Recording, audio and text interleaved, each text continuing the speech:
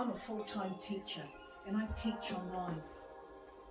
And it's really important for me when I'm working from home three days a week that I have a good working station.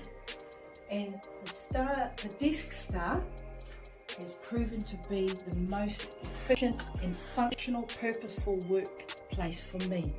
I found the organisation of my workspace absolutely brilliant.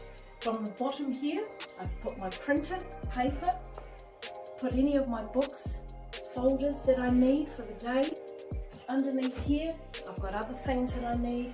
I've got a large workspace here for my paperwork, for marking or for study.